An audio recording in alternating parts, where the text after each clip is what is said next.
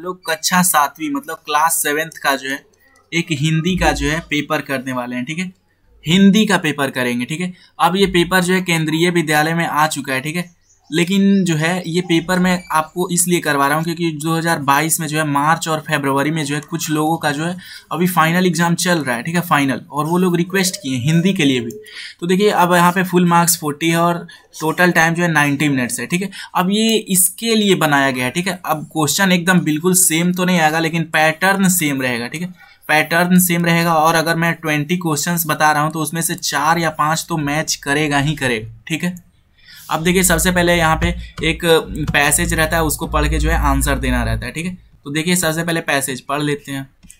यहाँ पे क्या बोला जा रहा है? भारत भारत की एक बहुत ही प्राचीन नगरी है, ठीक है?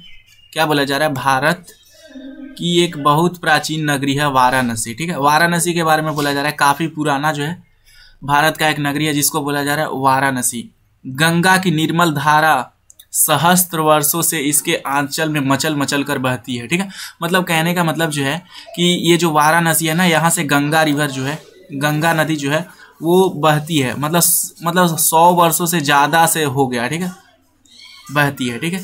अब आगे, इस नगरी का अपना सैकड़ों वर्ष पुराना वैभवशाली इतिहास है, ठीक है? मतलब जो है, ये काफ़ी सौ वर्ष पुराना जो है, इसका काफ़ी हिस्ट्री है, काफ़ी पुराना इतिहास है। बहुत दिनों से ये शहर है, ठीक है? आगे। हमेशा से यह नगरी शिक्षा का बड़ा केंद्र रह रहा है, ठीक है? एजुकेशन का सबसे बड़ा केंद्र जो है वाराणसी रहा है, ठीक है? पहले जो है, पहले भी पढ़ाई होता था, ठीक है? तो पहले का ज़माना में जो है, ये शिक्षा का बहुत बड़ा केंद्र है और अभी भी है। प्राचीन काल में, प्राचीन काल में यह काशी राज्य की राजधानी थी, ठीक है? पहले काशी जो है एक स्टेट हुआ करता था, ठीक है? उसी का ये राजधानी था, ठीक है?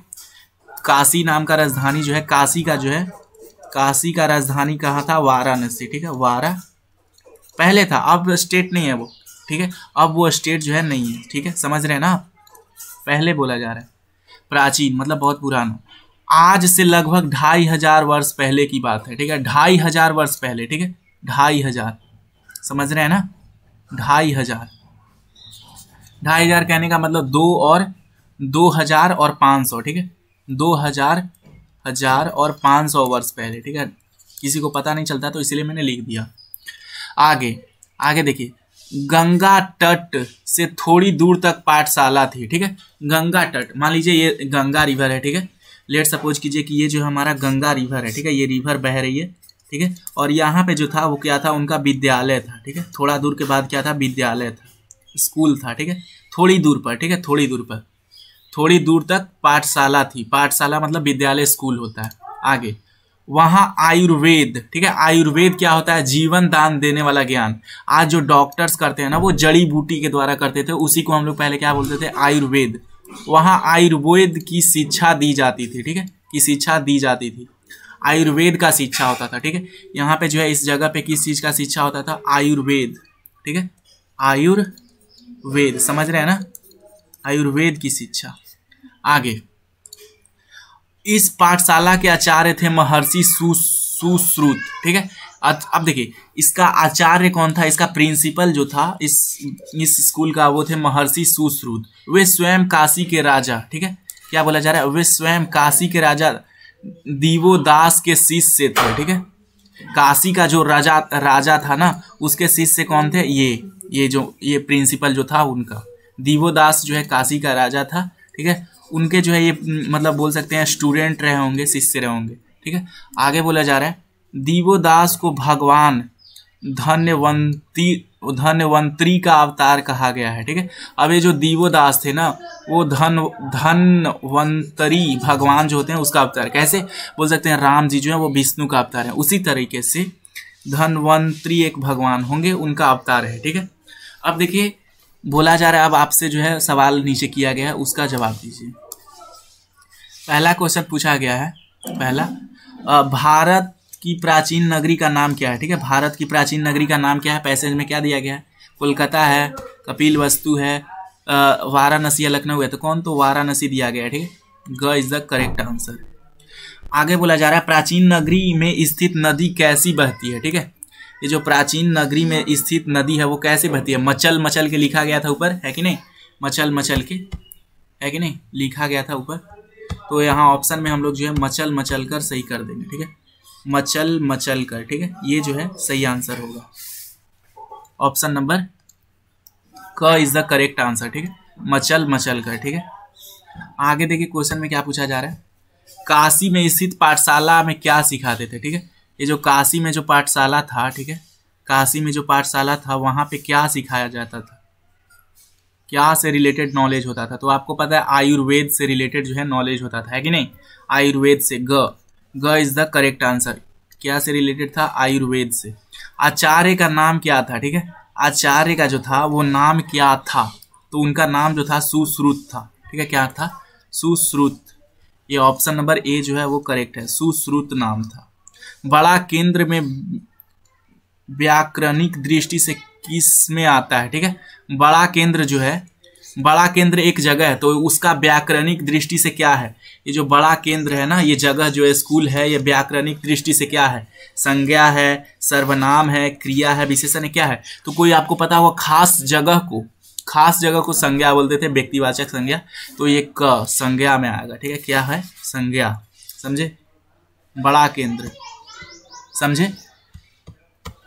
आगे बोला जा रहा है, काव्यांश पढ़कर, बहुवैकल्पीय। अब दूसरा काव्यांश काव्यांश जो है, कविता दिया गया, उसको पढ़ना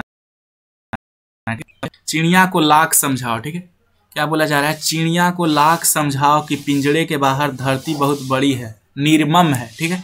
मतलब बोला जा रहा है यहाँ पे कविता में कि चिड़िया को जो है, आप कई बार समझाइए कि पिंजड़े के बाहर जो है, दुनिया काफ़ी बड़ा है, ठीक है? काफ़ी बड़ा है, निर्मम है मतलब सुंदर है। अच्छा है, ठीक है? सुंदर है, काफ़ी अच्छा है, मनमोहक है, ठीक है? ये कहने का मतलब है कि चिड़िया को आप कई बार समझाइए कि पिंजड़े के बाहर जो है, धरती कैसा है, काफ़ी बड़ा है और निर्मम है। वहाँ हवा में उन्हें, वहाँ हवा में उन्हें अपनी गंध तक, वहाँ हवा में उन्हें अपनी जिस्म की गंध तक नहीं मिलेगी, ठीक है? मतलब वहाँ इतना हवा है कि वहाँ जो है उनका शरीर जो है, ठीक है? शरीर वो महकेगा भी नहीं, ठीक है? उससे स्मेल भी नहीं आएगा। इतना बड़ा है कि, ठीक है? गंध मतलब गंध मतलब स्मेल होता है, ठीक है? इतना बड़ा है कि उसका जो है सुगंध भी नहीं आएगा उनको, दुर्गंध भी नहीं आएगा, ठीक है? समझे?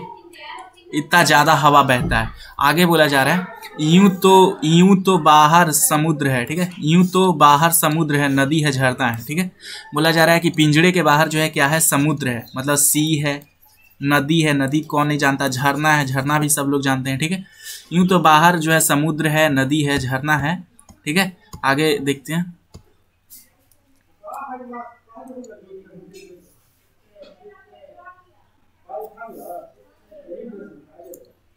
आगे बोला जा रहा है, पर पानी के लिए भटकना है, ठीक है? अब जब ये लोग बाहर रहेंगे ना तो इनको पानी पिंजड़ा में, ऐसे जब पिंजड़ा में रहते हैं, ऐसे पिंजड़ा में रहता है तो एक कटोरी दे दिया जाता है। उकरे में पानी पीते रहते हैं, ठीक है? लेकिन जब ये बाहर जाएँगे तो इनको पानी के लिए भटकना पड़ेगा, ठीक है? समझ में आ रहा है? आगे देखिए, यहाँ कटोरी में भरा जल गटकना है, ठीक है? अब देखिए, आगे जो मैं कहा, वही हो गया। मतलब ये जो पानी रखा है ना, उसी को क्या कर रहे हैं? ये गटक रहे हैं, ठीक है? मतलब खा रहे हैं, पी रहे हैं। पीना यहाँ पे हो गया, गटकना का मतलब किसी को समझ नहीं आ रहा है तो।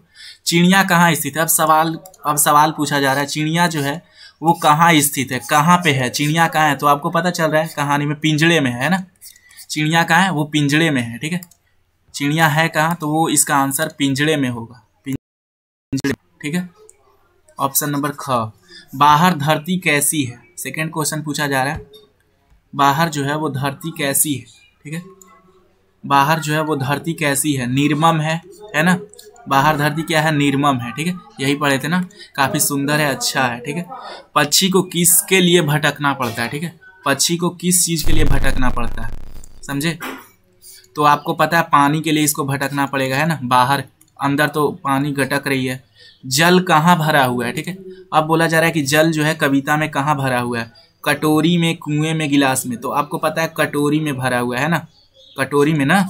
कटोरी में भरा हुआ ऑप्शन नंबर सी जो है करेक्ट है। समुद्र का अर्थ क्या है, ठीक है? समुद्र का अर्थ जो है वो क्या होता है? समुद्र का अर्थ क्या है?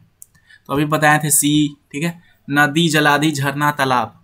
नदी तो होगा नहीं, ठीक है? नदी नहीं होगा, झरना नहीं होगा, तालाब नहीं होगा, जलधि होगा, ठीक है? जलधि, जिसमें काफ़ी बड़ा अमाउंट में जो है पानी स्टोर हो सकता है। आगे देखिए, निम्नलिखित गद्यांश को पढ़कर बहुविकल्पीय प्रश्न का, ठीक है? फिर से एक